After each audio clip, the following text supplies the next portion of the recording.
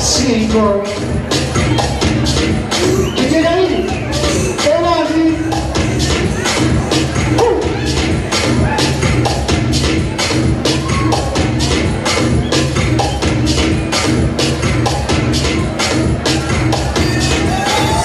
Aham, ele eh, me tá acompanhando, acompanhando.